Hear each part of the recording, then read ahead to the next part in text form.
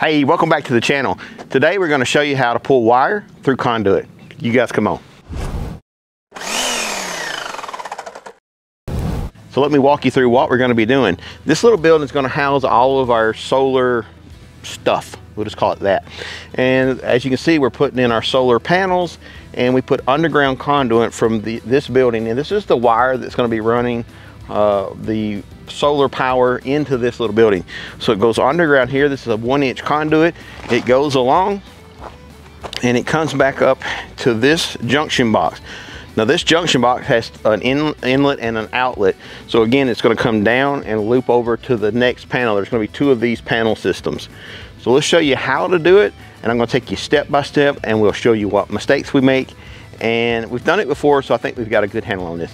You have to be able to put a vacuum hose from your vacuum cleaner on one end. In this case, it's gonna be kind of hard to get into this end. The other end's gonna be a lot easier to get it into. So we're going to use, we're gonna pull the vacuum through from this side so the, the bag will actually be sucked through. All you have to do is just tie a little knot so it doesn't pull the bag off. All you have to do is tie that little knot to keep the where the string can't pull off and then tie a knot in the bag so that the knot can't pull over the bag. So the bag's pretty slick. That's the whole purpose. Then all you're gonna do is take the bag and gently try to push it into the hole without causing any damage. You don't want to stuff it in there so hard that it's hard to get through. And then the next portion is, is you're going to have to have enough string let loose so that it can pull its way across. So that's roughly the same distance. Now here's the ticket. Sometimes grass, little clods of dirt can cause this to hang up. So do your best to make sure that there's nothing going to hang this up. So this is a little vacuum cleaner we got from Harbor Freight. And if this works, this is a game changer because it's battery powered and uh, it's got some pretty good suction. So I think it's gonna work.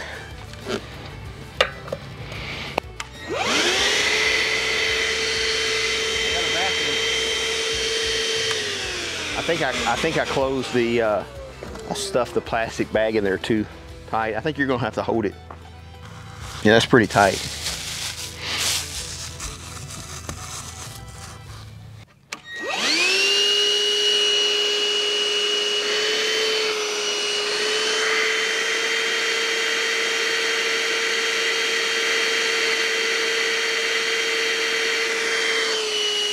Yeah, you, you're gonna have to work it. I, you're just gonna have to pull back on it and let it help it help it through. It's a two-person process.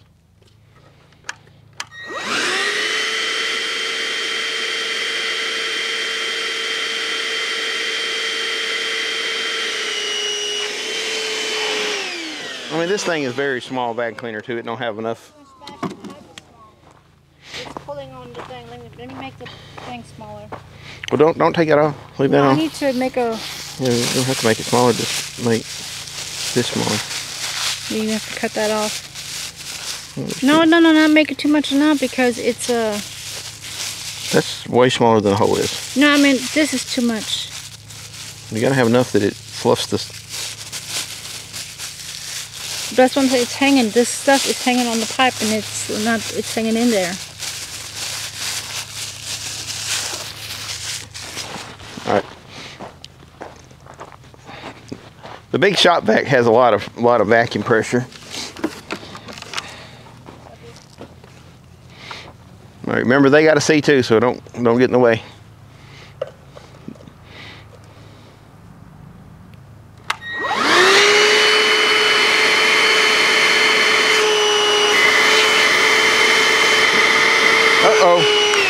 We got it right. So that definitely works once we got it right. Apparently there was dirt in the holes too. Where I was working, there's a little bit of, I'm gonna go ahead and run the vacuum on this other one before we start.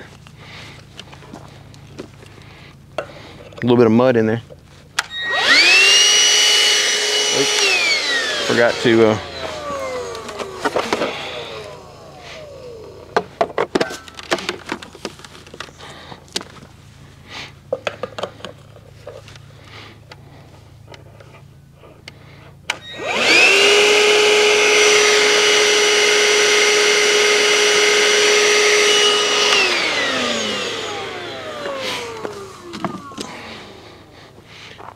right, so now we've got our first piece through. I'm happy with that. That worked really well. Once we got the bugs worked out. The next thing we're going to do is just cut off the excess string, and then it's, now it's ready. We're ready to feed uh, feed wire. Yeah.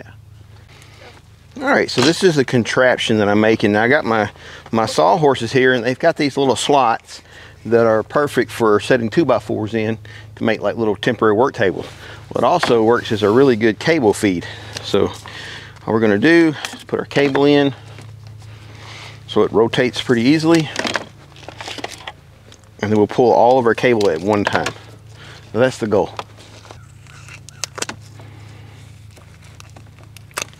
This is an 8 gauge copper, tin coated copper wire that we're using to pull our solar this is big enough that if we ever decide to upgrade in the future, it should meet all of our needs. So it's really important that you get your, your wire rolls the right direction. You're going to take the, so when the wire rolls over, it's pulling off at the same, the same way. If you don't, it could cause you some heartache.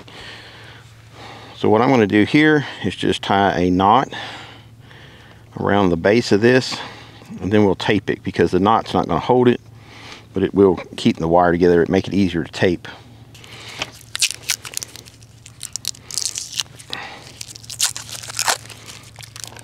Everything's hotter in the sun and stickier. So what I found in the past is to stagger the wire so I got one wire a little bit longer than the next one and then the next one and that way it's not one big giant end coming at the hole. The next thing is to tape this, but you don't want to make wads of tape. And I hate to, uh, you know, we're doing this for people that's never done it before. If you make a big wad of tape, it's going to actually hang up. So you want to make your tape smooth and keep it as narrow that it, so that way it goes through the the tube or the conduit a lot easier. Just work my way down.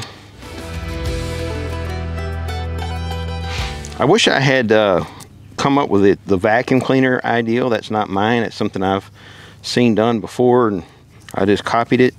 But I still thought it'd make a good video for somebody that's never done it before. And I could break it down to a new person doing it because I'm a new person.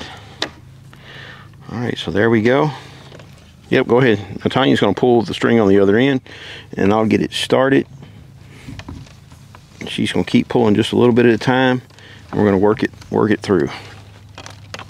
This is what I'm talking about. You got to have the cables. Now I got my cables on top of one another. Hang on. Well, that sucked. There he goes.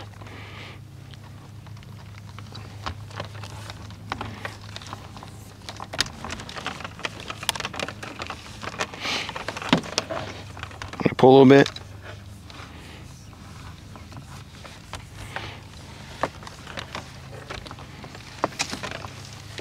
Keep pulling.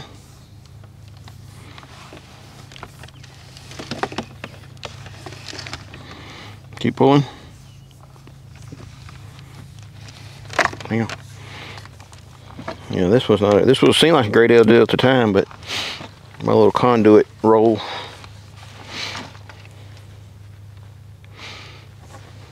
if I had to do it over again, I would I would have wound all this up on this conduit. So now all I've got is just a big giant mess. All my professional electricians out there are laughing at me. But these are things we do when you're new. I've done, I pulled wire before, but you know, not enough to be a pro at it. So hopefully somebody can learn from this. Right, a little more? But it's going through, and that's what really matters.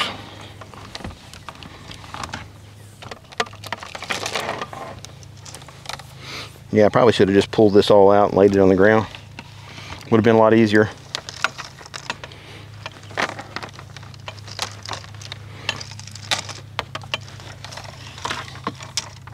Okay, go and pull. All right, hold on.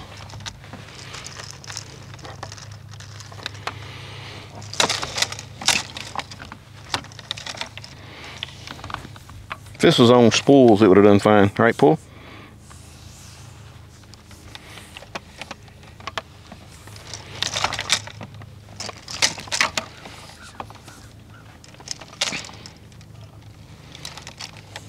All right, pull. The last time that I done this little trick, I had the wire on spools, and that's why it done so well. I never even dreamed about this big mess I just made. It's coming, and it's still way better than trying to do it any other way. All right, go ahead and pull a little bit more.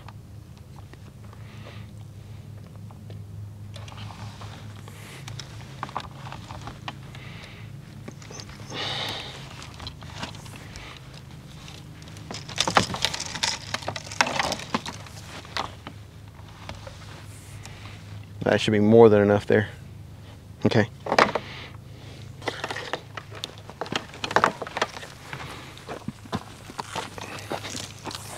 Yeah, it's just gonna be easier to pull it out like this. Big old tangled mess.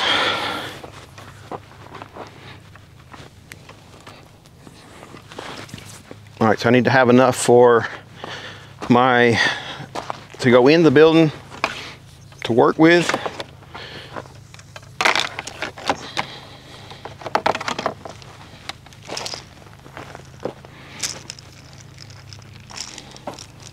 So note here, if you're gonna do this, if you have spools of wire, you can use my little trick. If you don't have spools of wire, then definitely don't do that because made it pretty, pretty bad. So I picked this wiring kit up. This is made specifically for solar installation, crimping the solar, the solar ends, but it's got nice wire cutters.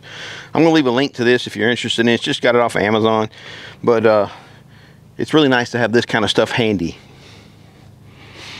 It's got a wire stripper, crimper, the tools to take off the solar connectors, and then a wire set of wire cutters. All right, I'm gonna go ahead and I'm giving myself ample wire. Good set of wire cutters. It's got the little lock, clamps it back down. All right, we're gonna take these wires. I've got ample wire left over. If you're interested in this build, we're going to do a complete build or video on the build of the solar. But the red wire and the black wire, those are the uh, solar wires. That's where the high voltage DC comes in from the solar panels. And this is a 12 volt wire that's going to control the automatic. It's going to provide power for the automatic tracking system. So we're going to go ahead and stab all this through into the building.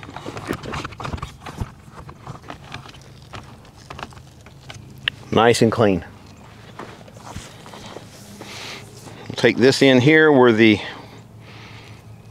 where our tape is. I'm just going to snip this off instead of trying to untape all this. That's 8 gauge wire and these things just right through it.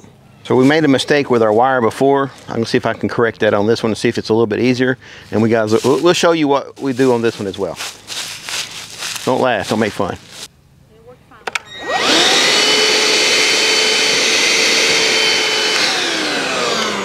There you go. Dun dun. Or what's that one little cartoon? Dun dun dun. Belt. Belt. Yeah, I like belt. What was that? Croods. Croods. Croods. Last good cartoon I ever seen. All right, so again, we're going to take our string. We'll tie a knot around it back here.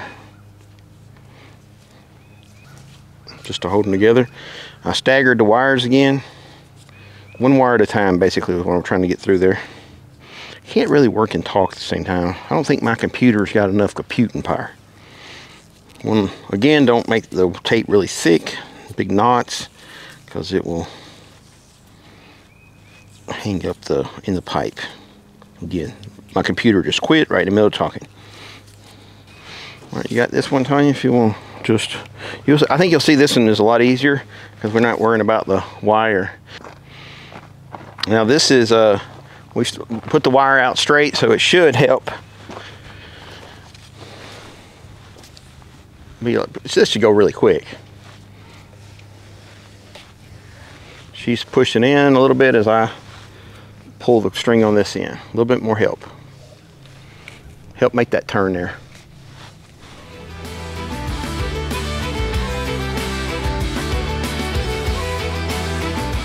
Right, we got it out on this end. So we got this dramatic moment where we pull the wire out.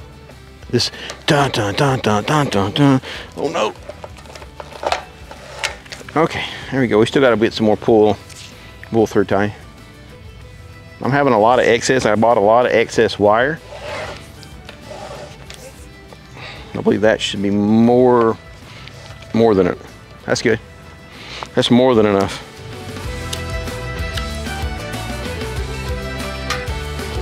That took us about 30 minutes to run the wire through this one, which would have been less time if I had laid the wire out. learning curve, I just learned something. Don't, don't put loose wire on a stick. We run all the way through here, down again to the second one, and we got our wire hanging out here. Now we're ready to move forward.